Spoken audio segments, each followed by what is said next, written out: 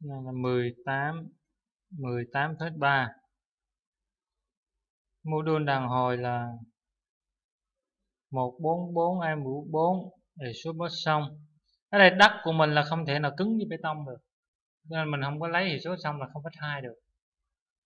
Đó. lấy ví dụ như là không phách đất tốt mấy thì cũng phải là không phách 25 27 3 đất sẽ bằng bê tông được. Một một bốn a mũ bốn. Một một bốn a mũ bốn. À, không phết ba.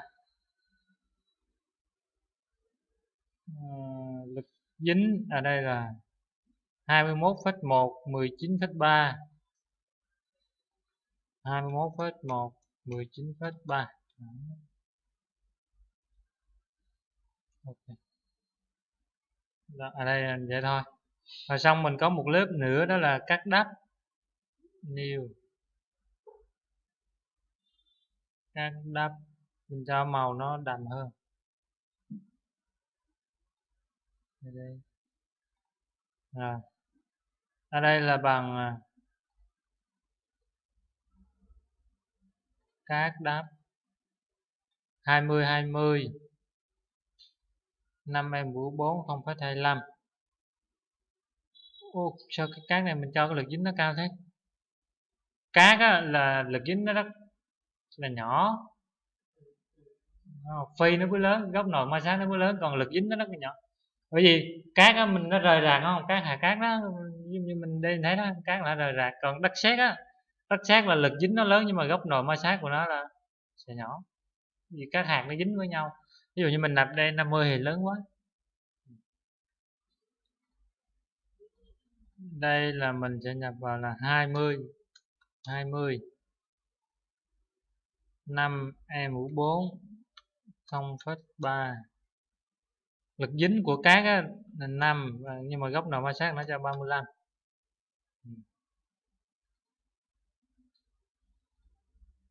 là ừ. tới cát đáp. Cái này ngày xưa nó vẫn là bùn. Đổi cái lớp bùn này cho cái màu nó đậm hơn chút xíu.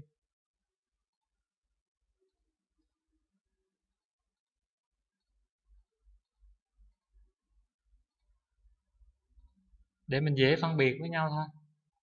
Ở đây tới cọc ở đây của mình cọc nè. Nhiều đây là cọc D500 bên này mình có tính rồi.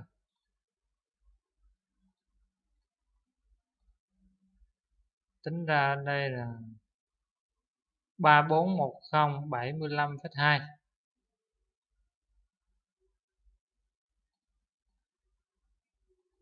ba bốn một không, bảy mươi lăm phẩy hai.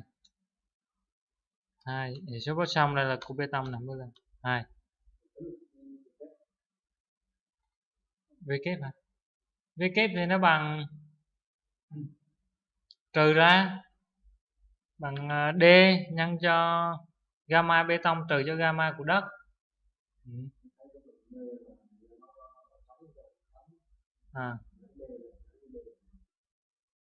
nó, đúng là nó còn trống cái ở giữa đó. Đó là cái a là mình tính đúng với cái hình mình khuyên rồi, đúng không? À.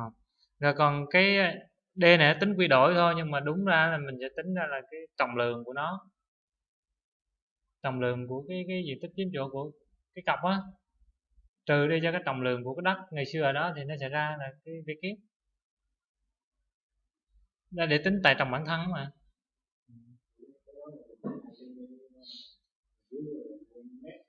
Ừ. ở đây là nó quy đổi ra là 0,5 này còn lấy cái d này 0,5 luôn thì nó sẽ không không đúng vào mà mình nó có trống ở giữa nên mình tính tay lại. Rồi mình nhập lại cái v kép này. Còn của nó là cái d mà bằng gamma bê tông trừ gamma đất đó, là cho trường hợp là kết cấu là đặc. Còn của mình nó rộng ở giữa đây nó sẽ nhẹ hơn. Mình tự tính lại v kép mình nhập vào đó là nó bằng cái cột đất của cái cọc, trừ đi cho cái cột đất ngày xưa, nó đứng ở đó. Đúng không? Cái này mình trừ ra nhập lại thôi. Rồi. Cọc thì ở đây của mình, ngoài cái cọc này ở đây nó còn có là tường trắng. Nên mình phải tạo thêm một cái nữa, đó là tường. Nhưng mà ở đây của mình là có là cái này 50 cái này 60 cho nên mình phải có hai loại vật liệu. Có hai loại, cái AI nó khác nhau á.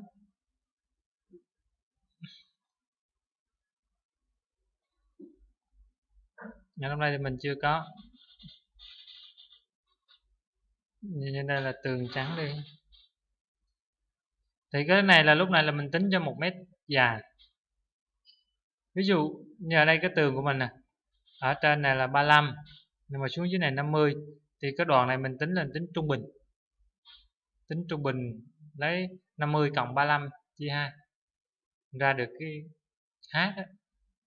h là trung bình của đó còn b là bằng một cái tới. Còn cái này thì h là 0,6 và b là một cái tới.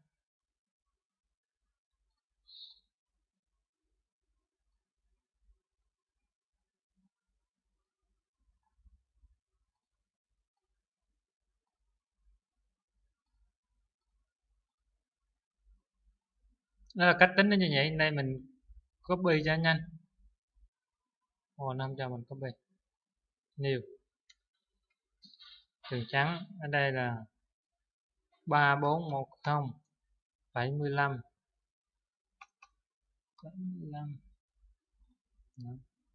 Bảy mươi lăm. Phẩy hai. Số xong. À. về kép này ví dụ như của cái tường là mình tính hết luôn bởi vì ngày xưa nó không có đất gì nằm ở trong đó hết. Để tính cái tải trọng bản thân của cái tường đúng. Thì nó sẽ bằng à, h nhân cho bề rộng, nhân cho gamma rồi nhập vào đây. Không có trừ gì cho đất hết. Ví dụ như đây là bằng 10 chẳng hạn.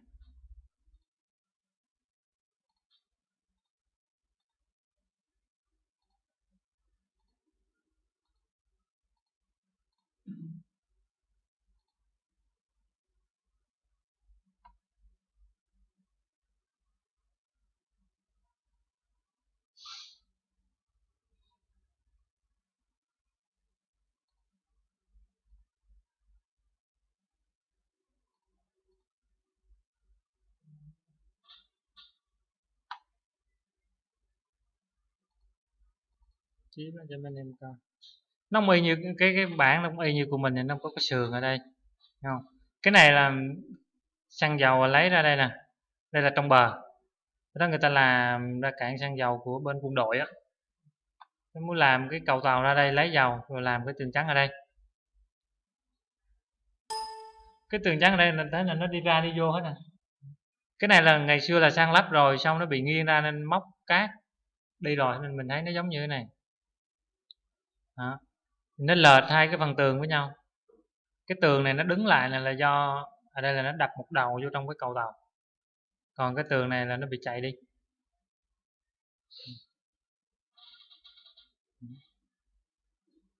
Đó ví dụ như mình thấy cái bà kè là nó dít dắt luôn. Ừ. Đó là nó đẩy mình để à. Ở đây là ngoài sông. Ở đây là trong bờ. Sau khi mà bơm cát từ ngoài này vào phần này là nó gãy cọc à. rồi nó, nó đập cái đầu cừ ví dụ như mình tính á, là cái cừ lúc nào nó chuyển vị ra xong không? Không phải. Ở đây cái công trình này cái đầu cừ nó đập vô trong bờ luôn. Như là nó bị gãy cái hàng cọc phía dưới và nó ngã cái đầu vô phía bên trong. Còn ví dụ như nó mà bị chuyển vị ra phía xong á là nó bị chuyển vị nhưng mà kết cấu nó còn đủ khả năng chịu lực. Còn đây là nó đập cái đầu vô trong luôn. À, nhìn nó gãy khúc luôn.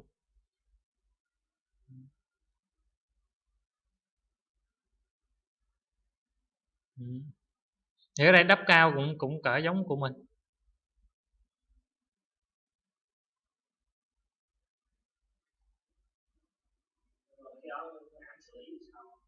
Phương án xử lý hả? Phương án xử lý là hồi đó mình đi báo cáo xong thì người ta là vì cái này là đang thi công thì nó bị nên chủ đầu tư thi công với lại tư vấn thiết kế nó không không ăn nào chịu hết. Chiều cao à, đây. Đó cái tường của họ là giống như vậy họ đóng à, hai cọc. Ở đây người ta đóng hai cọc thôi. Đó, cái cọc người ta người ta đóng hai cọc cao ba mét rưỡi bùng ờ, thì nhiều hơn mình. Cọc ừ, 30 30 nhưng bố trí theo phương dọc là 2 mét một cọc còn mình nó là bố trí một cọc, rồi nghỉ vô trong này mới bố trí một cọc với một cọc. Còn mình tính ra còn bất lợi hơn nha. À. bố trí dứt dắt vậy là nguy hiểm nữa. À. Đó.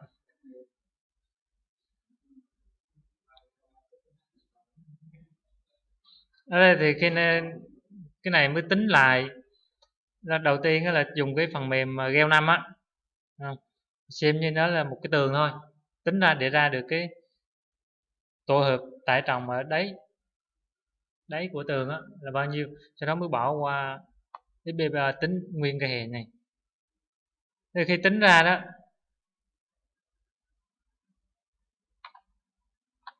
moment lực cắt cái này moment bằng không nên không có cái khả năng hư hỏng mối nối.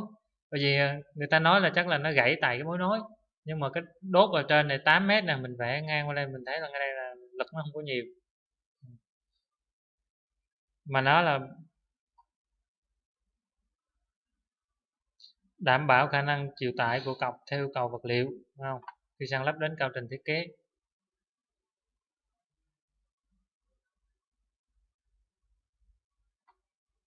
Cộng đây.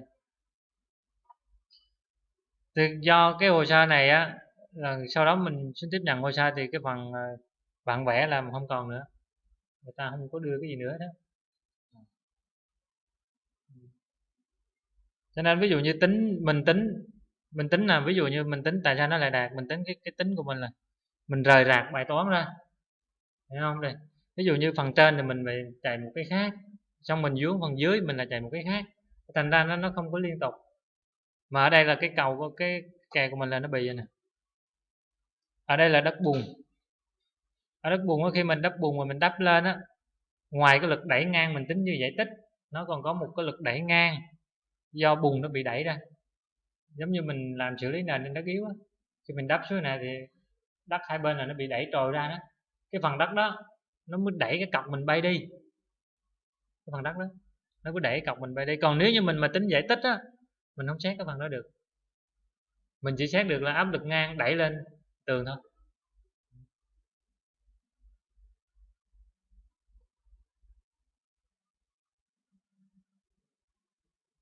Đây là tính 3D đó. thì đây là cái hệ số ổn định tổng thể của nó là không đạt này mặc dù mấy kia nó đạt hết, cọc nó cũng đạt thấy không? Kết cấu nó đạt nhưng mà hệ số ổn định tổng thể là 1.63 này, nó nhỏ hơn 1.2 nó không đạt, cho nên nó bị trượt á nó bị trượt. Tức là cái cọc của mình nó không có gãy đâu, nó chưa có gãy là nó bị uốn cong. Nó chưa có đến mức độ gãy bởi vì sau khi mà nó bị đạp ngang, người ta ra người ta bới đất lên rồi. còn để luôn rồi nó mới gãy. Nên người ta tháo đất ra thì tính ra là hệ số ổn định tổng thể là nó không đạt. Mà nó không đạt là nó bị giống như vừa rồi á. Thì ở đây mình mới dự báo ra được cái chuyện bị ngang của nó giống như ngoài thực tế là 13 cm nếu như mà đắp cao lên nữa là mất ổn định luôn. Trong à, biện pháp xử lý. Ở đây nó những khó khăn trước rồi chứ à, nó, nó, nó bị giống như vậy. Nó không bị trường hợp này mà nó bị giống như đây. Mất ổn định tổng thể. Là cái đầu nó cứ gục vô. Còn nó mà gãy gãy gãy cái cọc đóng mà nó chịu nổi là nó nguyên cái đó nó đi ra xong rồi.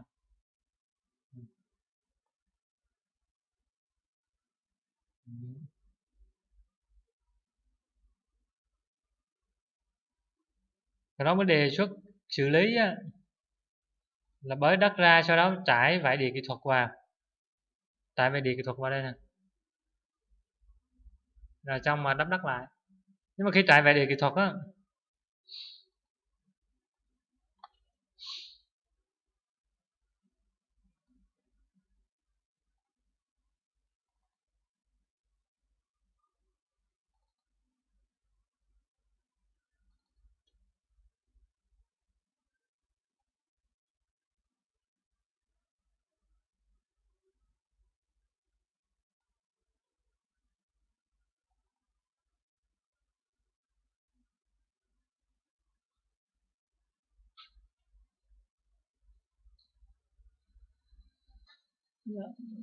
đề xuất là giống như vậy sau đó mình mới xếp xếp rò đá phía bên trong. Xếp rò đá phía bên trong. Sau đó trải vải đề kỹ thuật phía bên trong nhưng mà cái vải đề kỹ thuật này nè cái rò đá với cái vải đề kỹ thuật nó đều cách cái tường trắng ra một đoạn là 30 cm cái, cái đoạn này là không có đất gì hết á. Đoạn này là nước.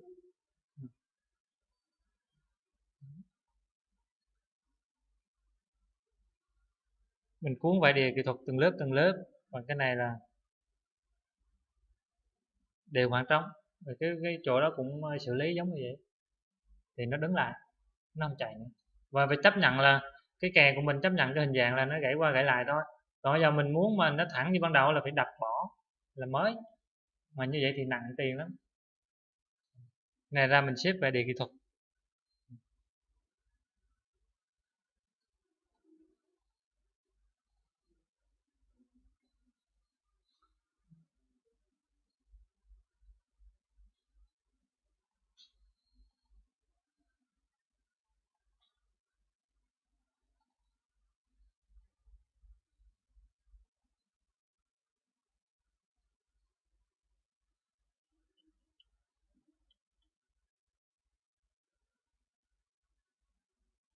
Rồi.